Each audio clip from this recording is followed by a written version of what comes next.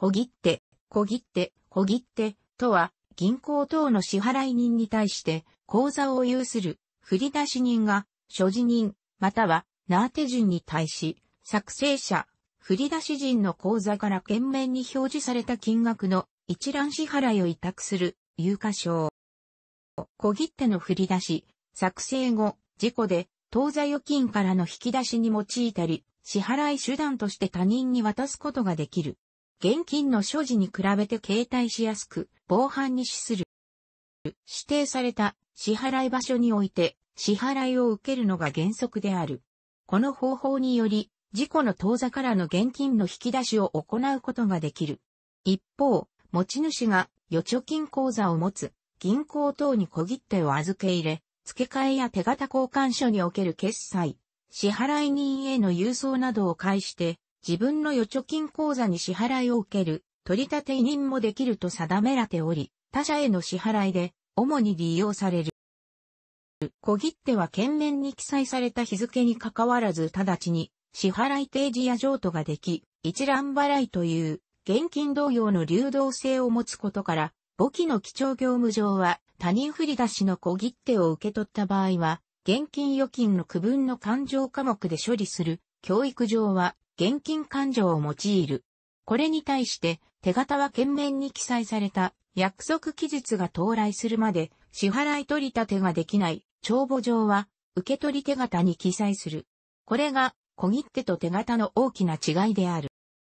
小切手の振り出し日付欄に未来の日付を記入して事実上約束手形と同じように支払いを先延ばしする先日付小切手が用いられることもあるが、この日付は法的には効力はなく、支払い地の銀行は、先日付前でも支払いを拒むことはない。ただし、振り出し人と非振り出し人の間に、先日付まで取り立てない旨の約束があれば、審議則違反として、振り出し人は、非振り出し人に対して責任を追及できかもしれないが、裏書き上とされていれば、非譲渡人にその責任は問えない。逆に、振り出し日付から一定日数、例えば30日、180日など以上経過した小切手は支払い地銀行と振り出し人との間の特約により支払いを拒まれることもある。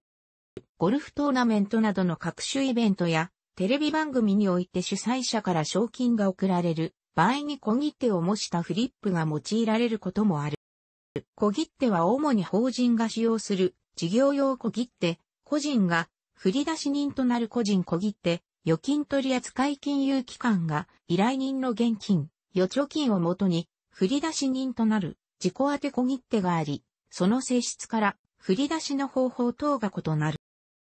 欧米など、応印の習慣がない地域では、事業用小切手や銀行小切手でも担当職員、行員が自分で署名するか、保険金や年金小切手のように大量に発行される小切手には、あらかじめ責任者の署名が印刷される。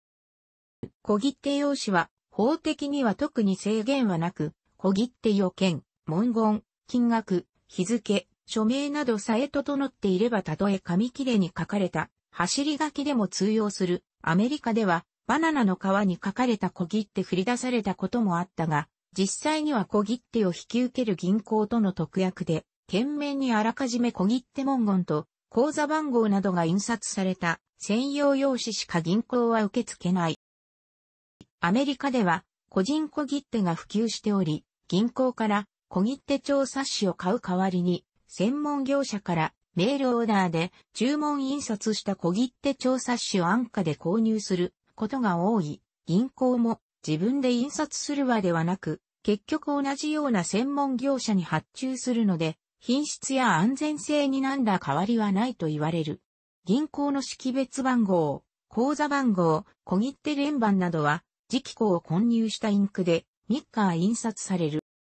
小切手は、振り出し人が自ら振り出して用いるほかに、銀行等預金金融機関にその券面金額に相当する現金を払い込んで、金融機関自らを支払い人として振り出す、小切手証券の発行を受けて用いる、預手型小切手があり、日本の預金取扱金融機関では、自己当て小切手あるいは、預金小切手、略して預で、貯金小切手の名称で取り扱っている。振込による送金手段が扱えず、多額の現金の代わりに利用されているが、任意で利用する場合は規定の発行手数料が徴収される。日本の銀行では、振り出しのために依頼者から受領した金銭は別段、預金に預けられ、そこから振り出す方法が取られている。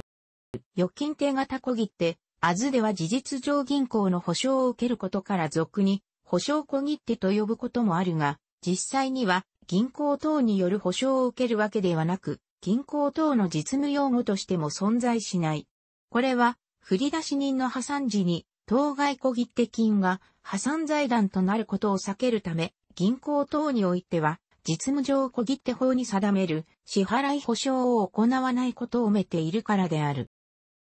小切手は有価証券であるから懸命に裏書き禁止の文言がない限り、宛先人は他人に譲渡でき、さらに譲渡された人もまた他人に譲渡できる。譲渡するときは小切手券面の裏面に非譲渡人にお支払いくださいという裏書き文言と譲渡人の記名、押印もしくは署名をする。最後に小切手を譲渡された人、所持人が支払いを受けるが、もし当該小切手が不当たりになった時は、所持人は振り出し人のみならずどの裏書き人にも、訴求的に支払いを求めることができるも、そのためには、すべての裏書きが連続、ある裏書き譲渡の宛先が次の裏書き譲渡人、あるいは所持人と一致していなければならない。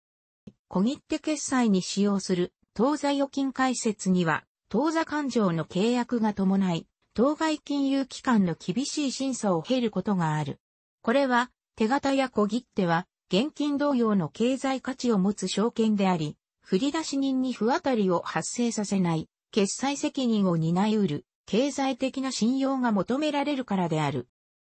一般的に、有料企業が事業に使用する、当座勘定であれば、金融機関が取引状況を審査することにより、当座勘定解説は可能とされる。欧米では広く支払い手段として用いられている。アメリカやイギリス、イタリアなどのヨーロッパ諸国では、消費者の小売店などにおける支払い手段としても広く活用されている。多額の現金を持ち歩くことは治安上危険であり、小切手の方が安全という理由がある。また、アメリカでは、使用済みの小切手は、振り出し人の手元に戻るため決済後には、事実上領収書として機能している。アメリカでは普通口座を開設すれば、個人小切手は簡単に利用できる。個人小切手には、氏名、住所、電話番号が印刷されており、これを綴ったもの、小切手帳は、チェックブックと呼ばれている。小切手に支払い先の氏名と金額を書き込み振出人が署名すれば小切手として成立する。買い物や保険金の支払いに利用される。公共料金の支払いも日本では口座自動振替が普及しているが、欧米では銀行の自らの口座から勝手に引き落とされることに抵抗があると言われ、自宅に郵送される請求書の金額を確認した上で小切手を郵送して支払うことが多い。その他、学校や習い事での支払いや教会への献金などにも小切手が用いられる。賃金や年金の支払いは銀行直接振込が主流になったが、紙の小切手、ペイチェックも健在である。デビットカードやクレジットカード決済の普及により消費者による小切手の利用が急速に減っている国が多いが、それでも個人が小切手を扱う頻度は高い。最近では、スマートフォンのアプリで受け取り小切手の券面画像を読み込むことで、自分の銀行口座に入金できるサービスが普及して始めており、物理的な紙の小切手を ATM まで持参する必要が減った。おおむね、バンカーズチェック、バンクチェックとは、預金、手形小切手、アメリカでは、キャッシャー、S チェックというを、パーソナルチェックとは消費者の振り出す小切手を指す。また外国が合わせで用いる、クリーンチェックとは、船に条件を伴わない一般の外貨建て小切手を指す。旅行時に使うトラベラーズチェックも預金小切手のことである。また、フランスでは多額の現金取引は禁止されており、この場合はやはり小切手が用いられる。したがって、これらの小切手が普及している国では現金を直接郵送することはなく、多くの場合法律で禁止されている自分で振り出した小切手あるいは銀行に振り出させた預金小切手を郵送する。日本の小切手は小切手法に基づき支払い人として表示された銀行等に対して所持人またはナーテ人以下同じに対し作成者振出し人の口座から券面に表示された金額の一覧支払いを委託る有価証券である。また、供託金返還など国庫制度から現金で支払いを希望する場合は日本銀行が支払い者となる政府小切手が地方税などの還付には地方行政機関の指定金融機関が支払い者となる還付金小切手があり、それぞれの行政機関を振り出し人として交付される。近年の日本では個人が振り出し人となる目的で当座預金を開設することは、ほぼ不可能である。振替口座における取り立てを郵便局、ゆうちょ銀行の直近窓口に限定する小切手払いの制度もあるが、一審等以外で2名の保証人を差し出す必要があり、ハードルが高い。これらは小切手の発行による不当たりリスクを払拭することができないこと、金融機関に多くの事務的労力を要する事情がある。換金には、受取人が取引金融機関に出向く必要があり、他店振り出しのものは、取り立てから着金まで最低3営業日を要することから、特に個人小切手は、極めて使い勝手の悪い支払い方法との認識がされている。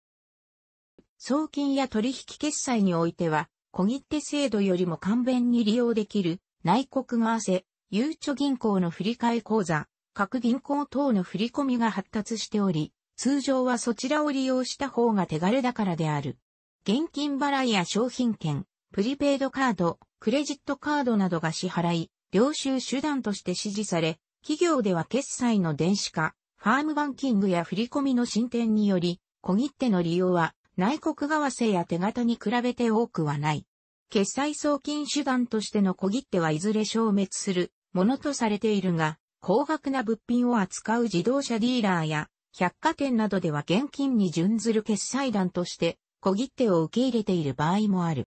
また、郵便貯金、簡易生命保険では2000年頃より貯金や保険返礼金の多額の現金払い出し時に貯金小切手を2010年頃より預金取扱金融機関、特に信用金庫も銀行あたりの自己当て小切手、金小切手の振り出しを積極的に進めるようになった。もともとは現金盗難のリスクを軽減するためであったが、親族の知人になりすました第三者に現金を手渡しする手渡し詐欺、特殊詐欺において金の代わりに自己当て小切手を渡した場合、換金時の本人確認や入金口座などで被疑者の追跡が可能となることから、犯行の抑止や早期解決などを狙いにしたものである。金融機関によっては、テラーが現金払い出し時に事情を聴取し、特殊詐欺が疑われる場合は、振込詐欺等の防止対策として、無償で